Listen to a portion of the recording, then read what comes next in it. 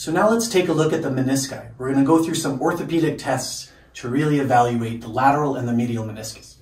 So first off, what we find really works well and is actually backed up by a lot of research is just joint line tenderness. There's a high correlation between joint line tenderness and meniscus problems. So first off, if we were to palpate the, uh, the lateral meniscus, we'd find the joint line and we'd really get in there in between the femur and the tibia and just kind of palpate. How's that? Okay, Lindsay? Not hurting you? Uh, it's minorly tender on that side, Okay. not.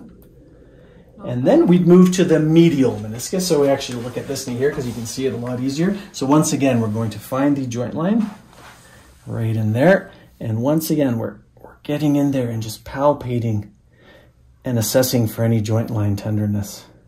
Doing okay? Yeah, that's fine. Yeah. Okay, good. So now we'll have you lie uh, flat on your back here in supine position. So moving from the joint line, what we're going to do is just assess uh, uh, general movement here of the knee. So uh, as we go into external rotation, we're going to be stressing that lateral meniscus, and internal rotation of the tibia would be more the medial meniscus. So first off, just going to do some range of motion here. Actually, let me hold you this way.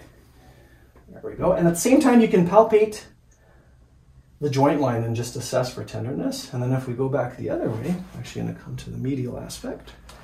Doing okay? Mm-hmm. Okay. So transitioning from here, we could actually go into McMurray's test. So basically, we're going to start to extend the knee and create varying degrees of internal or external rotation as we're palpating the joint line. So we're going to go down, a little further. Good. You doing okay? And then we're going we go the other way with some external rotation. Going down again. Good. Just palpating through here. Okay, good.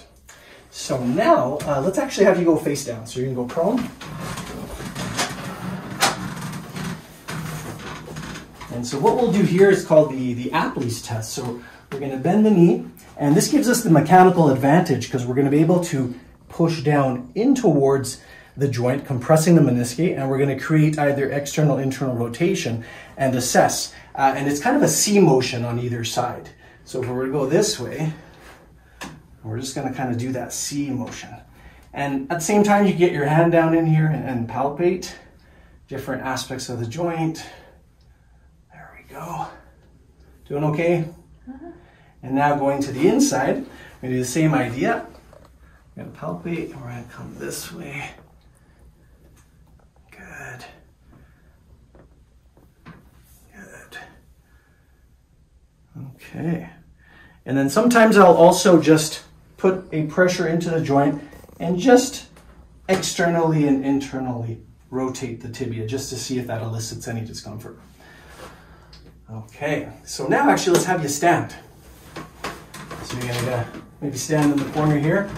So this next test is called uh, the Thessaly's, and so what this does is it'll load the joint in a weight-bearing position, and that way we can analyze and see if there's anything going on with the meniscus.